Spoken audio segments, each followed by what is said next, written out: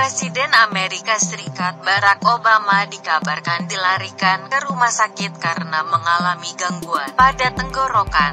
Dia dibawa ke Walter Reed Medical Center, Washington DC oleh rombongan pengawal presiden pada Sabtu 6 Desember 2014 waktu setempat. Menurut dokter kepresidenan, Ronnie Jackson, Obama harus menjalani pemeriksaan CT atau tomografi terkomputasi sejenis ronsen pada tenggorokan. Hasil tes menunjukkan Obama terkena gastroesophageal reflux disease GERD atau dikenal pula sebagai acid reflux yakni penyakit yang terjadi ketika asam lambung naik kembali ke kerongkongan sehingga menyebabkan ketidaknyamanan bagi si penderita. Pak Presiden alami radang dan akan diberikan penindakan sebagaimana mestinya, ujar Jackson.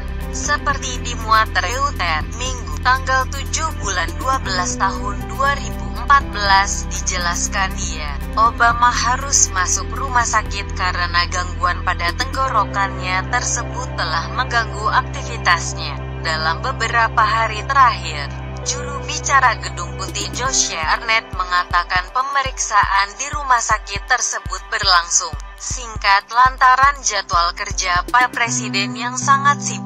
Pemeriksaan yang dilakukan dengan cepat hanya disesuaikan dengan jadwal presiden bukan karena adanya masalah darurat, ungkap Ernet. Seperti dikutip dari USA Today, belum diketahui penyebab gangguan tenggorokannya yang dialami Obama. Menurut Badan Kedokteran AS, biasanya penyakit GERD disebabkan karena merokok, minum alkohol. Obama sebelumnya mengakui pernah menjadi seorang perokok.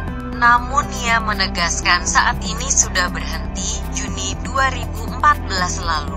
Dr. Jackson pun mengatakan Presiden ke-44 negeri Paman Sam itu sudah menjalani hidup sehat dan bebas rokok.